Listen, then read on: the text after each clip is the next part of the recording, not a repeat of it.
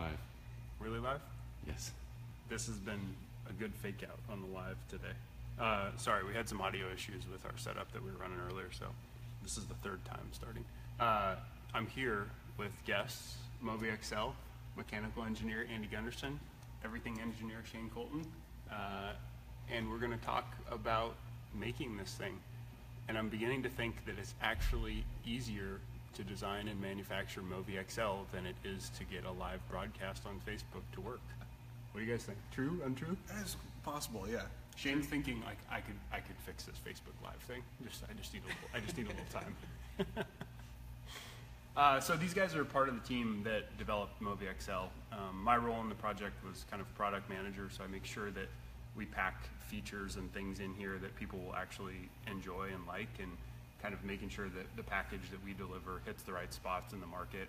Um, I work with these guys to figure out what is possible from an engineering perspective and what we can actually accomplish in the timeline and team kind of works together to deliver the end product and hopefully people are excited about it. And I think with this one based on the feedback we've gotten from you know people watching Facebook live early and then now at NAB people seem pretty excited. So um, yeah I'd just love to hear from you guys. What do you what do you think about uh, your roles on this project like what was what were the difficult things to overcome um, what things were you worried about? I know this was a huge leap for Andy because he came into the company and didn't have maybe as much background as some people in the company do in gimbals, so he had to come up to speed super fast on gimbals and did an incredible job of coming up to speed and understanding like you know how we design things, why we design things the way we do, the constraints, that kind of thing. So Yeah, definitely for me, the the, the scale of the gimbal, uh, coupled with the sort of the weight requirements and the power requirements, was a real challenge coming up to that. Um, and I mean, what we have here is, is really impressive from that standpoint of it can hold, you know, it can take a 50 pound payload, and it's it's amazingly responsive, and it's still very um, not only just light and easy to carry around, but still moderately ergonomic. You can actually move this around feasibly as one person, which is pretty impressive. Um, but I had a lot of help from the rest of the team here, sort of bring me up to speed on what a gimbal is, uh, how it functions, what the critical aspects of the functionality are. And this has been a really great learning experience, and I think we've ended up with a really fantastic product here. Um, it's not just great for you know this one setup. It's really flexible. Uh, it's got a lot of adjustment points, but um, but the knob space isn't too huge. You can you can work inside uh, sort of a, a very well constrained system. We've got these axis locks that make balancing very easy. Um, the the sliding joints for all these uh, camera balancing parts are, are just really fantastic. Um, and overall, it's a not just an easy to use, but an intuitive platform, I think, because you can work down from camera all the way back up to the pan axis, and it's a pretty straightforward system to use. And I've been really, really impressed with the system as a whole and its ability to just sort of adapt to whatever camera platform and accessories we're putting on it that day. Yeah, the thing I think, one thing I'm excited about is the the alignment between Movi XL and Pro um, will mean that when Pro users go to use this, they will immediately understand how to balance the camera, how to install the camera, how to install the cabling, and how to interface with the UI UX. It'll be a seamless transition. There's very few things that diverge as far as the use case for this gimbal. Um, and people will, you know, people will be able to get up and running and be getting great shots right away. Um, we've tried to keep it the the design philosophy and the use uh, and the, the menu system and structure as congruent with uh, Pro as possible. Um, so I think how I guess how have we used this gimbal so far? Uh, I kind of have two questions. How have we used it, and what are we expecting people to do with it? Like, what are the use cases that we designed for? What are you guys thinking about? Well, definitely for like crane, we had it on a Technocrane at NAB, which was really cool. Um, car mount, vehicle mount, um, just any place where you need, you know, a bigger gimbal than a Movi Pro. You need a bigger camera package, and um, it's not really for handheld unless you have two people on a long pole or something like that. But Or a um, giant ring. Or a giant That's ring. yeah. But um, for situations where you're mounting it to pretty much anything, boat, car, plane, Yeah. Uh, so Zolt asked a question, can we still expect shipping in May? I don't know if you in particular can expect shipping in May, but you can expect that shipping will start in May. Uh, I anticipate it'll take us several months to work our way through our reservations and back orders, but that's just off the top of my head. But yeah, we're, the whole team here, um, is hustling to get these things out the door. Um, the I think on the the Technocrane point, Shane, that reminded me one one point that I really enjoyed about NAB and XL was I got a chance to meet a lot of the guys that are working in the the kind of larger stabilized head space and to hear feedback from them on you know kind of what they liked and what they didn't like and how they could see XL being used in the cinema market was really compelling because those guys have a lot of experience that you know, we come from smaller gimbals and handheld gimbals, and that's what we bring to the design table when we think about the stuff. But they have a lot of experience in bigger, more professional productions, and they're they're kind of feedback and insight as to how this thing could and would be used was really exciting. Um, you know, I had a nice long talk with Lee from Monster Remotes and Scott from Cinemoves and you know Technocrane and all kinds of people that have been playing in this game for much longer than we have. So it's great to get their perspective. Um, I think, you know, the, the ways that I've used it, I've been, I've, I got to go out on the Movi XL promo shoot with you and the content team here, and we used it on cable cams. Um, I, if you watched the film, you saw me almost tip over the razor. Um, we had it on car mounts. We had it, Amber set up this runway with a, like a vintage plane that we got to film. That was really cool. I got to drive the SQ5 and hit, I think 113 miles an hour at top speed, so that was really cool. I almost drove a brand new SQ5 off the end of the runway, which might not have been cool. um, what else have we used it on? Uh. Oh yeah, robot. We've used it on the robot a lot. So we bought this robot off of eBay just so that we could test. Movi XL is so big that the way we test Movi Pro won't work. So we had to find something to move it around to dynamically test uh, XLs as we were building them.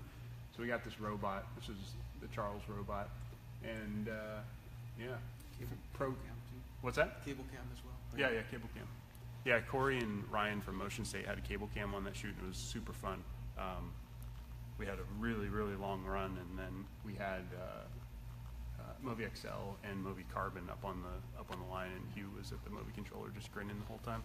So I just want to check on questions. Uh, when will we have accessories list on your site, like batteries, mounts?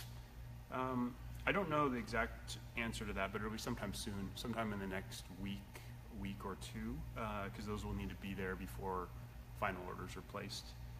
Um, can you use it upside down with roll axis staying upright, so no flip camera? Tom, Tommy McMahon, yes, you can. So the roll axis, you can flip the thing over. Um, just imagine just like Pro rolling the roll axis over, and you'd have camera still upright, but you'd be in a uh, do we call that gimbal up or gim- gimbal up orientation? Gimbal up orientation.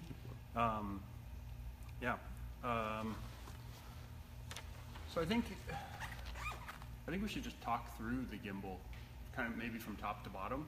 Um, things that you know, things that people maybe don't realize about it. I can kind of just give a tour, maybe with you guys helping on. You can dive in deeper technically for any of the any of the spots that I might not fully understand. Um, So you'll notice mounts up in the front here. I'm definitely not supposed to tell you that those will be used in the future for landing gear attachment point for something huge that would fly this because that would be crazy to build something like that and we would never tackle a problem like that. Um, the batteries are six cell, they're very similar to the packs that would fly in Alta. So they're six cell, 10 amp hour lithium polymer batteries. They've got little state of charge indicators here, so you can see we're at half power. And we run two batteries in parallel for the system. Powers the whole gimbal and the camera, all accessories, all motors, all downlinks, everything. So there's no wired connection below our quick release plate. So you can literally just kill the gimbal, quick release it off, quick release it onto the other thing you're gonna shoot on, activate the gimbal, and you'll be up and running again in no time. Um, But in the event that you do need to pass some sort of wire through to whatever you're mounted to, uh, there is still a hollow shaft on the pan motor. Yeah, just like on all the other motors. You would just have to be mindful of, uh, you know, if you did like ten rotations and you had a stiff cable, you could eventually break the cable. But yeah, you could definitely. And for the first day or so at NAB, we had the Technocrane wired in that way, where we had a cable coming down through. Um, we've got this, so kind of working our way down. You can see the motors. They're huge. Um, so David B designed these. I don't know what, what what can these motors do? Continuous power, Shane? Uh, they're about 500 watts peak and then um, 200 continuous, something like that. Yeah, so it's crazy. It- You know, you can accelerate and decelerate the gimbal uh, just stunningly fast. Um, I've had the thing up at 113 miles an hour behind the SQ5, so a lot of torque. When you you know when you push against this thing, it's like you really got to push. Um, the motors, I think, one of the cool things about the motors, great thermal transfer. So, especially in shots where you're driving in a car, we have really good cooling. You have a lot of airflow going by, and we're really we've done a good job designing the motors such that we get the heat out of them, so we can keep pumping current into them. Um, make sure you always have enough torque for the shots you're trying to do. This box here is the motor drive. So we call that UMD Mini in kind of our internal naming. And then there's this E-chain system here that protects the wiring as it comes down into the distribution hub.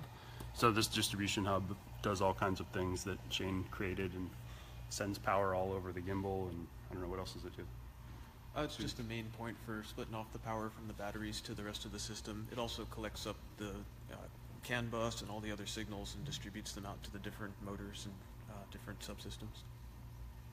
And then we've got, um, you'll recognize this from Pro, very similar gimbal control unit, very similar menu interface. Kind of one of the exceptions is when you go to do something on here, anytime you touch this, it actually disarms the gimbal. And our reasoning there is this thing is powerful enough that it's actually dangerous. It could hurt people if you got your finger in the wrong spot and someone did a full torque command.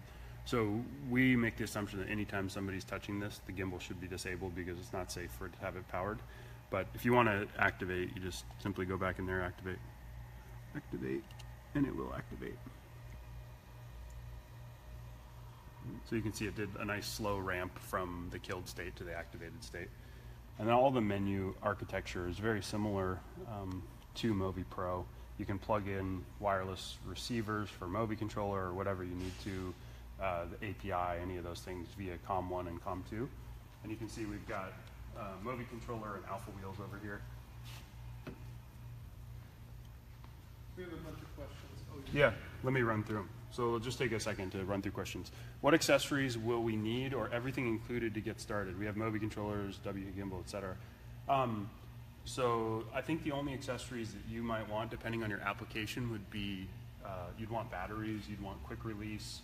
If you're interested in any of the add-ons, like some of these new pop and locks we have for mounting accessories, um, the, the, the camera plate is compatible with ARRI style system, so if you already have that, you could use it. You can get ours with the package if you want.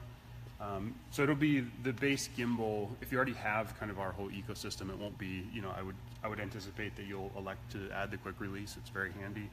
Um, I'm trying to think, is there anything else? Lens support, same, that's compatible with standards. Oh yeah, depending on depending on what you're doing for lens and how it needs to be supported, you might need that. Uh, what's the runtime with these batteries? I don't know the exact runtime. In practice on the shoot, I was getting at least three to four hours powering the gimbal and the red and all accessories. So that was really fun. You know, get it up on the cable cam and know that you're not going to have to mess around with it for quite some time. Uh, have you guys thought about the aerodynamics now with bigger applications? Yeah, but only briefly, I would say. We're trying to schedule some time to get down to the wind, wind tunnel and improve our understanding of exactly what happens at very extreme speeds so that we could continue making gimbals that are more powerful, can go faster, that kind of thing. I would say that this gimbal, Movi XL, is not designed with the lens, through the lens of having a gimbal that goes extremely fast. I would say gimbals like the Cineflex that are more aerodynamically balanced and designed for helicopter use are probably better for very extreme high-speed stuff, and like the gimbal they have on the Wolf Learjet and everything. Uh, no smart batteries, right? Oh, oh, sorry, I skipped one. Benjamin wants to know how fast have you been able to travel with gimbals on the front of the car? Uh, I think I personally have gone 80 to 85 on the front of the car. I'm not convinced that the front of the car is worse than the back of the car, though. The worst, the back of the car is like wildly turbulent. Um, and Zolt, the batteries, I guess it depends on what your definition of smart batteries are, but um, they have state of charge indicators and various other protections here. So they're, I don't know, maybe they're like uh, elementary school batteries. They might not be PhD batteries, but I don't know. Uh, Daniel Green, Tabb did not say that we're not planting a bird for this beast. Can you make a shout out to Canada? Absolutely. I make a shout out to Canada every single morning when I give Hugh a high five when he walks in the door. He's my favorite Canadian. Uh, love the wheel control. Yeah, these alpha wheels are rad. So they interface nicely with Movi controller. Um, at this point, I just have to accept that I've lost the war on wheels, and I will never be able to convince people that are obsessed with wheels that they could control something in another way. So we've lost. We're moving on. Uh, let's keep working our way through the gimbal, though. You got a shout out, Shane, from Bradley Warren Hansted. Hey, Brad. Uh, where were we? Oh, so let's just, I just want to show axis locks. This has actually become one of my, maybe my favorite features. So I just killed the gimbal. And you can see we've got these nice little quick release axis locks. So there's a variety of holes in this ring. And you can see as, as the axis moves, those move around. And then you can actually just take and lock this in.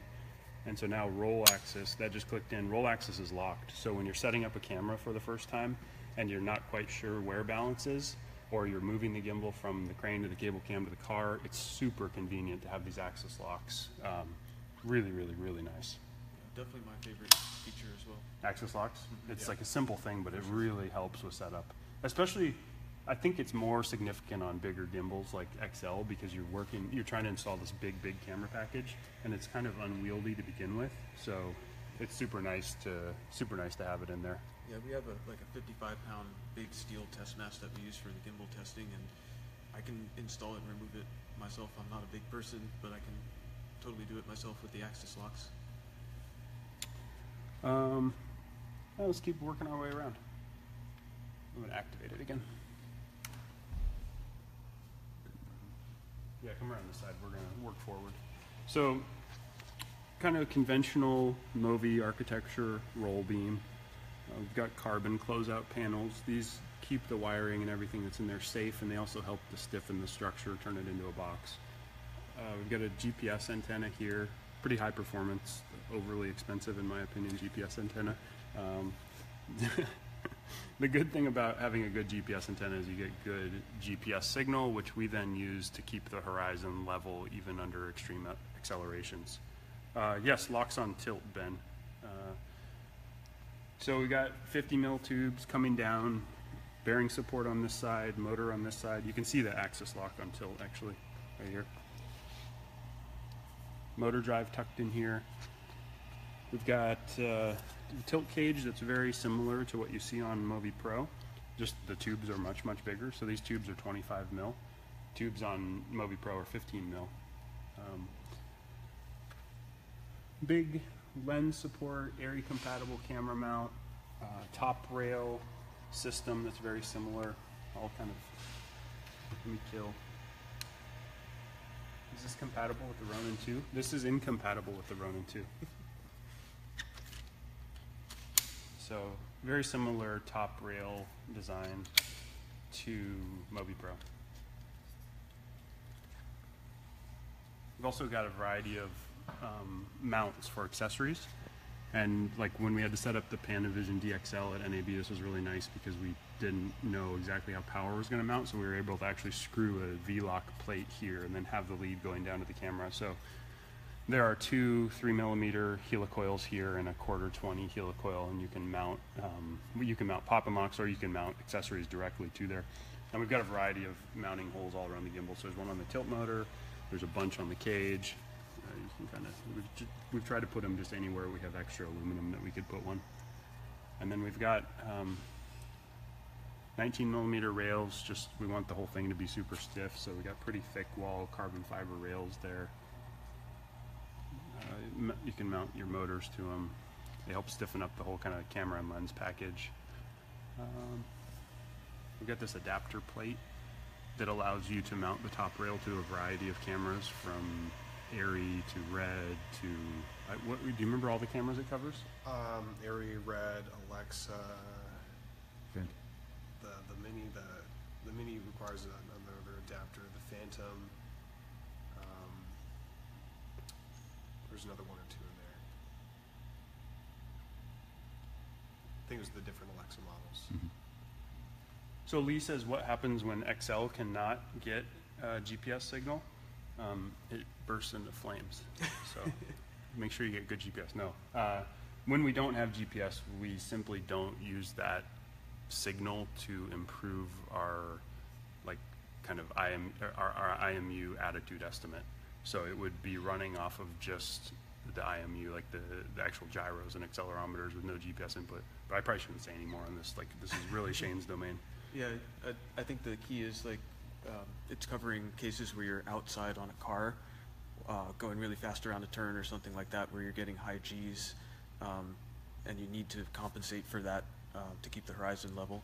Um, if you're doing high G stuff indoors, obviously that doesn't work, um, but there is still um, some amount of software that uh, tries to clamp clamp the amount of accelerometer uh, corruption you get on on the roll, even indoors.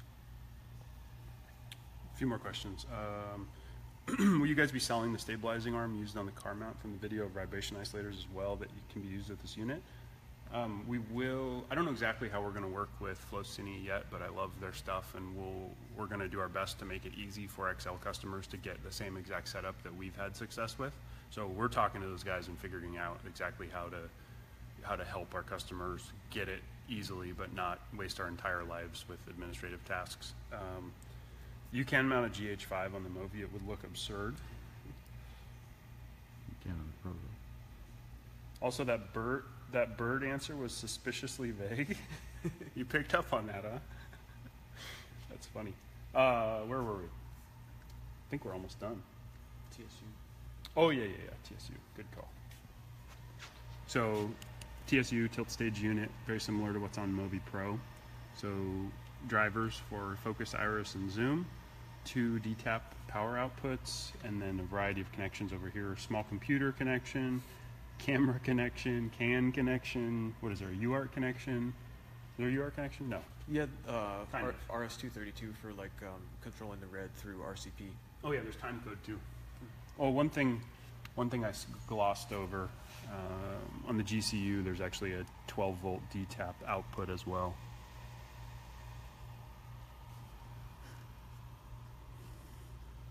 Just checking to see if we have any other questions. So let me go live.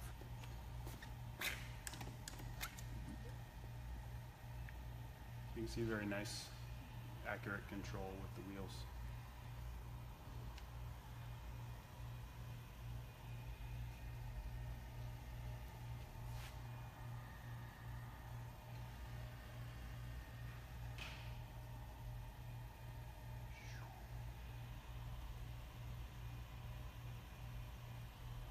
So you can set up, uh, if you want to set up like this, we have Movi controller mounted to the wheels. So you have pan and tilt on wheels, you have focus, iris, and zoom, um, and then all of the Movi controller menu options. One, one thing, just in case people don't know from watching Pro, um, with this gimbal, you'll be able to connect to the red RCP cable and have full control over red. And we're, we're going to continue building out the control uh, functions for red over time, so you have more and more control options when using a red camera, which I think that and the axis locks for me are kind of my favorite things about this new generation gimbal ecosystem that our team has developed. You know, being able to, when you're flying the Alta, hit record, change iris settings, focus with Canon lenses, or with you know lens motors, whatever you want to do, and have access to red RCP, like to even go and playback while you're flying is like, it seems you know when I go back in time five years to the stuff I was using back then with, you know, Hugh having to push the record button before we took off. And one of the first things that we would always ask, like after I took off, I'd be like, Hugh, did you hit record? And he would like, she'd shuffle around for a minute trying to like rack his, rack his brain to think if he hit it. And it's like, oh God, maybe should land. I don't remember. I gotta, you know, we had many a time where I was pretty convinced we got the most epic shot in the history of aerial cinematography only to find out that we didn't hit record. Uh, let's see. Did you take the cog wheels off a warship? I don't know what that means. Cog center of gravity wheel. These? These did not come off a warship. Andy, did you come off a warship? No, no. No? Okay. Do we need to keep bugging ARRI for mini control? Yeah, that'd be great. I'm pretty tired. I'm pretty tired bugging them. So if you could carry the torch for a while, Chris Fenner, that'd be fantastic. Uh, yeah, Mitchell mount. That's a good point. So you can mount a Mitchell adapter to this piece here if your primary use case is Mitchell. Uh, we're hoping that we can convince everybody to adopt our quick release ecosystem because it's much more fun to use than a Mitchell mount is. I would, if you are the person that designed the Mitchell mount, please call me. call me ASAP. I've got some product management feedback for you. Um, what's the operating weight with LiPo's no camera package? Thanks. From Graham Newton, Andy. Andy's our weight guy. With the bear, bear gimbal, you're 25 pounds, but uh, this setup right here, as it's all rigged up, is uh, about 58 with the camera and everything. Do you guys play Counter Strike? No, not anymore. Do you? I, I used to, not anymore. My brother still does, I think. Did Steve Jobs like the movie or Ron- Ronin more? Steve Jobs didn't see the need for either. He said this phone works just fine. uh, what about bugging Canon for C300 control? Also a great idea. I love that. Bug everybody. Yeah, if, like our stance on camera protocols is we don't want to spend the rest of our life chasing down camera protocols. But if we have camera protocols, we will definitely implement them uh, swiftly. That's what was super nice about Red. They have documented protocol. We did not have to ask them a single question. Corey Schwartzmiller just picked up his bag of grain, ate the grain, sat down at his computer, wrote the RCP part of Movi Pro, and we were done. It was fantastic. Like a, like a smart little chicken. I have no sound. Can you source that answer? Did he really? No, Steve Jobs did not really say that. I mean, maybe he did. I don't know. Uh, anything else we should touch on? What challenges did we face? What were the major hiccups?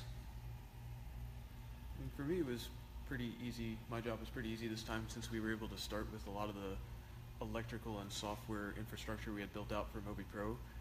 Um, I think the biggest challenges were scaling up the current for higher higher power motors. Um, that sort of drove the need for the distribution box and um, just testing at higher higher uh, current levels than we had for Movi Pro.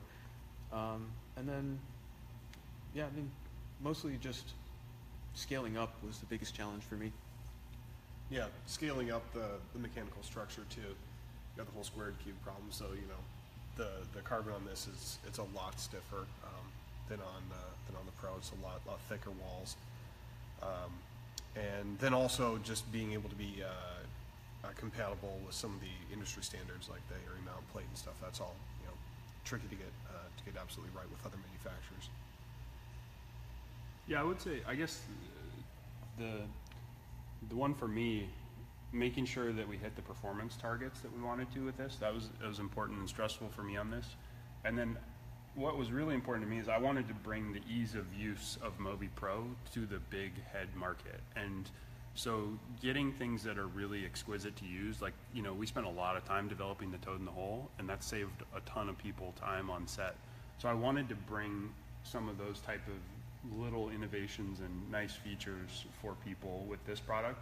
And anytime you really want to make something that's refined and exquisite, it's difficult. You have to do iterations. And, you know, our first version quick release, we ran into issues with the aspect ratio and it didn't, you know, it didn't slide nicely. It didn't do everything we wanted to do. So we have to revise it and iterate and iterate. And, you know, you run into all kinds of things that you don't foresee at the beginning of the project. Um, but that's part of the product development process, and that's why they have a portion of it called the trough of despair, because you start out flying high thinking this is going to be easy and we'll wrap this up in a month, and then you go into the trough, and then hopefully, you know, six to eight months later, you exit and have something that you're still excited about and potentially the world is excited about.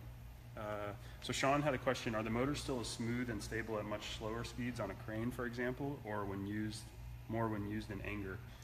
Um, the motors are smooth when used in anger, and I would say they're still smooth when used on a Technocrane. The Technocrane demo we had at NAB was just buttery smooth. I could have played with that thing all day. What did you think, Hugh? Hugh's, Hugh's got a, a exquisite eye. Feels fantastic. Yeah? Yeah. I didn't even pay him to say that. Uh, Slow, fast. At NA NAB, you guys had a super slick AC rig set up on your Mimic. I'd love to copy that setup if you have a parts list. Order our Movi Pro, but before it was even available. Love it. Thanks, Nate. Uh, super slick. Is he talking? Are you talking about the fake camera setup that we had, or I brought Pilot today too? So this is our this is our hand unit, which will be released shortly after Movi XL. Um, but it's got iris, a zoom, a two-axis zoom joystick, AB buttons, and then a really nice adjustable damping focus module. AB buttons here, so you can do all kinds of interesting things with it. I'll turn it on in a sec. Uh, so if, Nate, if that's what you're talking about, we can put together a parts list for the fake camera thing that we that we set up. It was pretty hacked together, so I'm sure with a little bit of work we can refine that into a decent package. But I agree that was a super fun way to operate if you were using that one. Does the XL run a Mitchell mount, or does it need to be adapted from the Movi quick release system? That's Ben. Uh, ben, so this plate here, I don't know if you'll be able to see the separation. You can bolt from that plate direct, directly to our Mitchell plate. Is that correct, Andy? Yep. Okay. Or you can bolt from that plate to our quick release Then to to- the Mitchell. Yeah. So you can do either way. If you're going to go a full Mitchell workflow and you want to have it as light and slim, low profile as possible, you can go Mitchell direct to here. Or if you want the flexibility of using Mitchell and quick release, which I like, uh, you can use our intermediate plate. Do you guys have board game night at FreeFly? If yes, can I join? We don't have one, but if you start one, you can come. Uh, look forward to trying it out. I'm a key grip out of New Mexico. This is Trevor Rogers, and I have a big need for something this size for crane work and car work. Uh, that's awesome, Trevor. I can't wait to hear what you think. Hopefully, we didn't totally screw up the design of this thing. Uh, game night sounds fun. Sign me up. Not the fake camera setup, but I like that too. Oh, Nate, it was on the Mimic bar. You had a Teradek small HD monitor, Anton Bauer brick. Okay, yeah, I know what you're talking about now. I think we just had uh, like a fully powered Mimic setup. We, we sell all the stuff to replicate that on our store if you want to. Uh, are you going to start selling the part, the 13 millimeter plug plugs into? Um, I don't know about that, but it's a good point. We need we need to it, like the female part of the 13 millimeter quick release thing. What Yusuf? What are you trying to mount that to? Like just you just need like a cheese plate to 13 millimeter adapter? What other issues do we run into? I'm trying to think. Battery positioning, ease of the ease of mounting of batteries. Yeah. So this this uh, Velcro strap solution is is a lot better than what we started off with. Um, it lets you you know keep the straps on the gimbal while you're, you're you can just loosen them slightly, slide the battery out, but it holds them very very securely. Yeah. Actually, Corey from Motion State and I had a pretty heated argument about the validity of battery straps, and uh, he was like, "Fine, you, you, it's your death, you know, if those things fall off." And he went out and used it on the first shoot and retracted his statement. He said, "I take it back. The batteries, the straps are fantastic. They're super quick to change and ultra lightweight." I was like, "That was a small victory for me." Um, just so you two know, apparently, uh, game night starts on Friday at seven. Brett Ogden will bring chips. All right, bring salsa. Do you guys play WoW? What's that? World of Warcraft? No, I don't. Do you guys? No, No. Never have. You? You? No. Uh, will you guys be at Cinegear? Yeah, we'll be at Cinegear somehow, some way. I don't know exactly how yet. You guys used them on the pilot setup on the Mimic handlebars, didn't you? Uh, We did have one like that at NAB, yeah. A 13 millimeter plug? Oh, no, sorry, I thought you were talking about the modules. Oh, okay. I don't know. I don't know which one you're thinking of, but if, if we haven't made it and you need it, we should make it. Um, when do you start to ship, Lee? We start to ship in May. I don't know the exact date. I tried to try to weasel an exact date out of Alex, but he just ran away. it's like, come back, come back. I'm just kidding. Uh, sometime in May. We're still figuring out details. Do you have a back pan on off function? Does back pan just mean turning off stabilization? Does anyone know? I think that's what it means but I'm not sure. Uh, Alexander asks, what motivated you to copy the Ronin design? Um, you know, we just scour the internet and look for inspiration wherever we might find it, and then we just take the best ideas from other people and quickly implement them into our own products. Oh wait, never mind, we don't do that. Uh, we go for a long walk and think about what the what the most elegant way to solve a problem would be, and then attempt to do it. Realize that we can't quite do that, so we do the best thing that we can. Uh, looking to purchase Movi Pro next week. Awesome, thanks. How long did it take to develop XL? Eight months. Uh, probably 10 months by the time you factor in Dave B's initial work too. Yeah. 10 months or so. All right, I think we're done. Anything else you guys want to add? Hugh, Evan? Anything to add? Oh, hold on. Yes, uh, if you want to work at FreeFly, check out FreeFly Careers. Uh, we're growing and trying to continue building an awesome team here. Reservations for Movi XL, Carbon, and Pilot are open. Base price for this bad boy, $19,995, and starts shipping in May in the order that orders were received. So I think that covers it. Hugh's got to get jamming. He's got to get to CrossFit. Hugh, you got uh, 11 minutes, I think. Oh, right. Evan, anything to add? Nothing. Every Access. Check out Every Access. Evan's worked really hard on it. Super proud of it. I think it's great. Uh, the interview with Jeff is absolutely compelling, and he is one of the most influential people in the drone space that I've ever met. He was doing such high quality work when the gear was so bad. So listen to that podcast. I think you'll like it. Any shout outs? Shout out to Dave B. Shout out to Dennis. Thanks for coming back. Oh, I talked about Try Before You Buy. Oh, Try Before You Buy program on Movi Pro launches Monday. So the idea there is you can rent a Movi Pro for seven days. If you like it, you keep it, and you send us a little bit extra cash. Uh, if you don't like it, you send it back and write us a snarky note. We're pretty confident that you'll like it. So uh, let me just check questions one more time. No, I just joined. Bye, guys. See you on Friday. Oh, yep, see you Friday. Can you turn off stabilization on individual axis? No, you can't right now, but I'm sure it'd be ultra easy to add that. We worked so hard to add stabilization to the axes, and now you just want to turn it off. Can I have a shout out? Alexander Heller, shout out, absolutely. Do some good work today, Alexander. Try before you buy on Movi XL. Maybe in the future, I would love to. Um, we got to get through reservations and back orders before we do anything like that. Okay, we're out. Thanks, guys. It's been fun.